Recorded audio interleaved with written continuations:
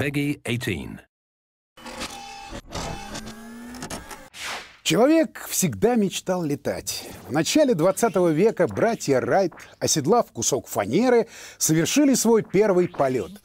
А в конце 20 века директор одной из американских школ упрекал одного из своих учеников за совершенно тупой юмор, которым тот всех достал.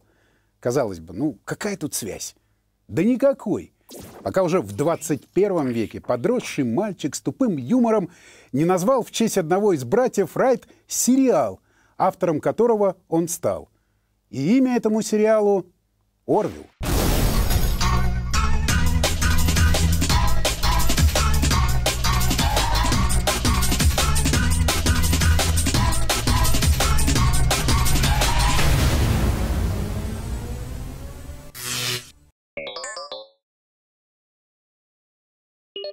Надо сказать, что фабрики голливудчины в последние годы ну, не очень радуют зрителей сериалов космической фантастикой. Можно по пальцам сосчитать продукцию этого жанра. Почему так? Ну, скорее всего, потому что производство подобных сериалов затратно и непредсказуемо. Ну, куда надежнее выпускать мелодрамы с элементами фантастики, детективы с элементами фантастики, фантастику с элементами фантастики, ну и так далее. Ну или запустить проверенное космическое, как, например, произошло со «Стартреком». Уговорить боссов потратить деньги на голливудский космос непросто. Но нашелся человек, которому это удалось. Сет Вудбери Макфарлейн. Так зовут того непутевого в прошлом школьника, а ныне известного юмориста Америки. Ну, не только юмориста, но и продюсера, сценариста, актера, певца — на его совести такие сатирические анимационные сериалы, как «Гриффины», «Американский папа» и «Шоу Кливленда». Также на его счету и такие комедии, как «Миллион способов потерять голову» и «Третий лишний», запомнившиеся нам по скобрезному плюшевому медведю, которого озвучил сам создатель. В общем, юмор свой он теперь демонстрирует всей планете. Вообще в Голливуде не очень принято уважать просто продюсера или просто сценаристов. Чтобы добиться признания, надо уметь все. Писать сценарий, продюсировать, режиссировать, кривляться в кадре и за кадром. Тогда да, ты представляешь ценность для боссов как потенциальный станок для производства денег и чего-то стоишь. Вот и Сет понял, что умение классно шутить мало, и начал актерскую карьеру, снимаясь не только в чужих, но и в своих фильмах. Например, в фильме «Миллион голов» потеряли способ... У этого фильма неудобоваримое название. То ли дело короткое, емкое, как субтитр или лост. Кстати, о лосте. Я упоминал неудачные отрыжки лоста в виде сериала «Вспомни, что будет». И упоминал я в серии про лост, конечно же. Или это был не я, или это был гость. А, неважно. Так вот, одну из второстепенных ролей в этом сериале сыграл наш юморист Сет, черт побери, Макфарлейн. Но, скорее всего, в своем резюме он об этом не упоминает. Казалось бы, жизнь удалась. Плюшевый медведь делает кассу, все ржут над Гриффинами и американским папашей. Получена куча статуэток Эмми, а маман всех драконов мутила с ним во всех смыслах еще до того, как с ней стал мутить собственный племянник. Чего же еще желать? Ну, кроме мирового господства, конечно. Дело в том, что в своем отрочестве маленький Сетик был увлечен фантастическими сериалами — и, конечно же, Стартреком, про который у нас уже была серия. На самом деле у Сета с детства две особенности, даже три. Его юмор, его непроизносимая фамилия и мечта снять свой Стартрек. И вот однажды он сделал боссам наглое предложение. Снимем свой собственный Стартрек не хуже оригинала. Он будет теплый, ламповый, в стиле 60-х. Добавим юмор, сатиру Нарисуем новый корабль, взяв за основу логотип Деу, и назовем его именем одного из братьев Райт — Орвилл. Можно, конечно, именем Уилбура, второго брата, но, к сожалению, это звучит как название трактора, поэтому Орвилл. Боссы, завидовавшие сбором Стражей Галактики, за идею ухватились. Несмотря на отсутствие в сериале енота, зажгли таки зеленый фонарь. То есть дали зеленый свет проекту. Многие американские сериалы, как «Вторая мировая война», любят стартовать в сентябре. Орвилл не стал исключением. Выйдя на экране в сентябре 2017 года, за пару недель до выхода сериала Star Trek Discovery. Но к нему мы еще вернемся. Подготовился Сет к этой мировой войне с другим сериалом основательно. Старту Орвела предшествовала массированная арт-подготовка в виде промо-роликов и презентаций на Комик-Коне. В общем, грамотная пиар-канонада мобилизовала армию фанатов, завоевавших Орвелу отличные рейтинги на канале Fox. На капитанский мостик звездолета взошел сам Сет Макфарлейн. Однако все экранное время у остального экипажа он не ворует, давая развернуться и другим персонажам. Все пестрое разнообразие рас, которых демонстрирует нам концепцию, заданную еще в 60-е годы Джином Роденбери для Стартрека. Вообще, эту концепцию дружественного межпланетного союза будущего зритель видит еще до демонстрации в кадре звездолета. Она демонстрируется в первую же минуту в спальне бывшей жены капитана Эда Мерсера. И вот депрессующий звездолетец-рогоносец получает, наконец, под свое командование новый звездолет.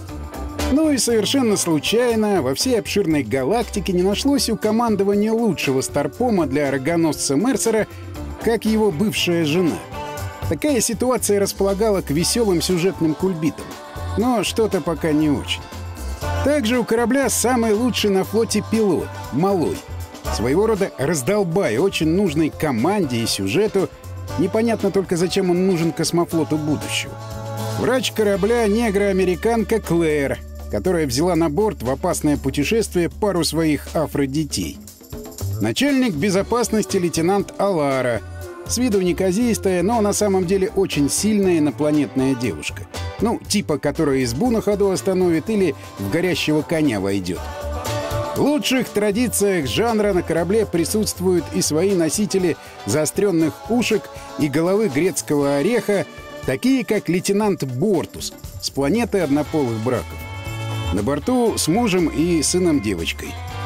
Желатиновый член команды Яфит нужен для того, чтобы на него постоянно наступали и чтобы в случае чего мог пролезть в любую щель. Не обошлось в экипаже без андроида-инопланетянина с винтажным дизайном. Своим контрастом высокого интеллекта и низкого понимания юмора он больше напоминает Шелдона Купера из «Теории Большого Взрыва». Зовут его Айзек, и он с планеты, где Скайнет давно избавился от людишек. В общем, корабль пестрит видовым разнообразием, и со всей этой компанией Сет путешествует по галактике, воплощая свои детские мечты и засевает космос демократией и справедливостью. Но не мечом и насилием, а умом и юмором. Как и подобает данному жанру космоопер, большинство внеземных видов антропоморфны — то есть отличаются от людей только какой-нибудь шишкой на башке или клешней на подбородке. Ну или гербом Российской империи на костюме. Почему-то. При этом особенно в первом сезоне Макфарлейн не устает отпускать шуточки по поводу тех или иных особенностей инопланетянина. Члену экипажа нужно отложить яйцо, и капитан намекает на омлет. Вот попробовал бы он пошутить про копчености в присутствии негра или про обрезание в присутствии адвоката. Сразу бы по этапу поехал бы в демократический ГУЛАГ. А вот про инопланетян так шутить можно. Может, потому мы и одиноки во Вселенной до сих пор. Но иногда создатели вообще не заморачиваются на гриме, и внеземные виды отличаются от нас только тем, что Наши пороки у них гипертрофированы до абсурда. И это смешно. Есть даже серия о вреде курения и о жизни в смартфоне. Но не только это. Вообразите, в одной из серий герои оказываются на планете, где все общество оценивается лайками и дизлайками. Все снимается на смартфоны. Кто угодно за что угодно может вас засудить. Приговоры выносятся на ток-шоу. И там царит капитализм. Врагу не пожелаю там оказаться. Но это, пожалуй, одна из лучших сатир на наше бытие в сериале. А сатиры там хватает, как и в большинстве проектов Сета Макфарлейна.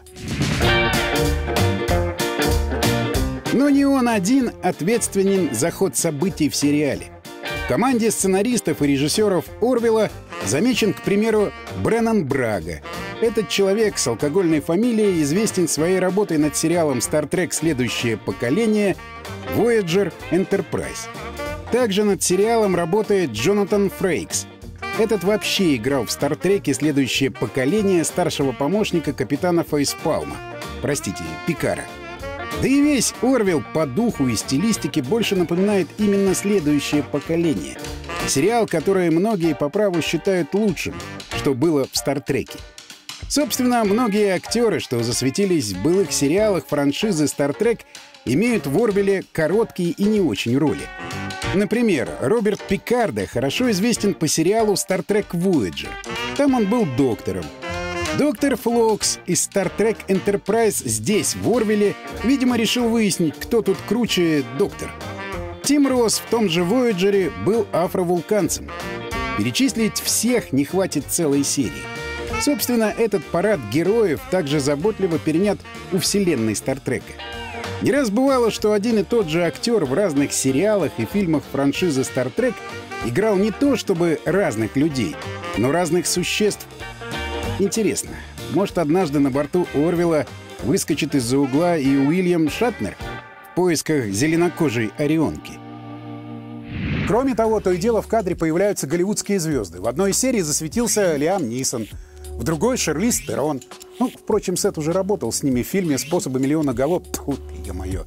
Ну, конечно же, миллион способов потерять голову.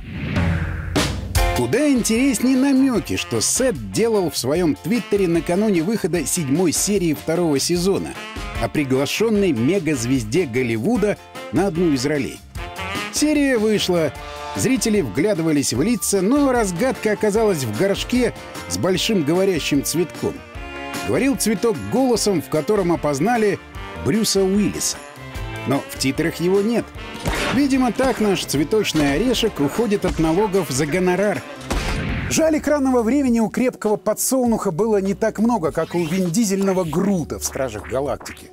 Но, боюсь, бюджет Орвела не выдержал бы длительного присутствия орешка в горшочке – Пришлось бы урезать финансирование кучи различных студий, что ответственны за вполне годные для подобного сериала спецэффекты. И тогда графон в Орвеле стал бы похож на русские мультики в Гриффинах. Тут может возникнуть ошибочное мнение, что это такая же история в рамках вселенной Звездного пути, как, скажем, Глубокий космос 9 или Voyager, но нет. Орвел — это самостоятельная вселенная — Несмотря на то, что в ней больше от Стартрека, чем во всех современных Стартреках, как это ни парадоксально. Часто Орвел позиционируется как пародия на классический Стартрек. Это не так. Это скорее дружеский шарж, доброе подтрунивание 45-летнего подростка над другом детства. К тому же сам Сет неоднократно заявлял, что устал от модной нынче антиутопии всяких там голодных игр, ходячих мертвяков его страсть — это куда более оптимистический взгляд на будущее. Но, глядя на наше настоящее, хочется сказать, что парень поехал головой. Или наоборот, один из немногих, кто остался в здравом уме. Видимо, потому и вышло так, что старая гвардия поклонников Стартрека предпочитает смотреть именно Орвилл, а не новый сериал Trek Discovery, который уже скатился во втором сезоне в суровую мелодраму. А вот в Орвилле полной мере ощущается тот дух Джина Роденбери, о котором когда-то любил говорить Леонард Немой. Яркое космическое будущее. На Земле нет денег, не в том смысле, что нищета. Деньги просто не нужны в том будущем. Царит дух исследований. Добрая, цветочная хиппи-утопия. О еде можно не беспокоиться, для этого есть пищевой генератор — Эдакий 3D-принтер, который изготовит любую еду, напитки и даже сигареты. На звездолете Орвилл есть даже голодек. Помещение, в котором создается заданная пользователем реальность. Точно такой же голодек есть в Стартреке «Следующее поколение». Правда, до Стартрека подобная техническая диковинка была на звездолете «Заря» в советском фильме «Москва Кассиопея». А ведь снято это было тогда, когда у людей был более оптимистический взгляд на будущее. Вот чего не перенял Орвел от «Звездного пути», так это синдрома красной униформы. Ну, помните, когда ее наличие — смертельный приговор персонажу. Сет Макфарлейн свой экипаж бережет, и гибнут там нечасто. Возможно, такое милосердие связано с тем, что создатель «Стартрека» в молодости летал на тяжелом бомбардировщике в войну, а создатель «Орвела» в молодости рисовал мультики про говорящую собаку. Ну а что «Стартрек Discovery»? Там есть гей-пара, упоминание Илона Маска, окончательное изнасилование внешности клингонов и искомая пара слов в названии. Вот и все. Star Trek Discovery — это эксплуатация бренда. Орвилл — это дань уважения классике. Противоестественные союзы в нем выглядят как и шашни капитана Кирка с зеленокожими блудницами Сариона. Наивно и забавно — Конечно, с юмором в Орвеле не всегда ладно. Если первый сезон вытягивал по комедийной части, то второй стал заметно серьезней. Такое чувство, что Сет бережет годные шутки для своих мультипликационных проектов. Мало ли, вдруг сериал прикроют. Но на данный момент все отлично. Фокс продлил сериал на третий сезон. Ну, что неудивительно, ведь Орвилл просто порвал все остальные телепроекты Фокса как тузик грелку — и рейтинги зашкаливают. С другой стороны, ведь это канал Fox, и мы знаем их боссов. И мы помним, что эти янки сотворили с южанами из светлячка. Орвилл Райт умер в 1948 году, пережив своего брата на 31 год, прожив от зарождения авиации до начала эры сверхзвука. Хочется верить, что и сериал «Орвилл» проживет долго и все-таки откроет эру действительно интересных и в меру юмористических космосериалов. Ну, конечно же, если боссы разрешат. А пока, Сет, давай уже зажги, как ты умеешь. Напомни директору своей школы, каков ты есть. От винта! До новых встреч! Например, в фильме «Миллион голов...» «Миллион голов потеряли...» Нет, подождите миллион способ... Нет, нет, серьезно, у этого фильма название... Да у него вообще проблема с названием. Например, в фильме «Миллион голов потеряли способ...» Простите, миллион способов... Нет,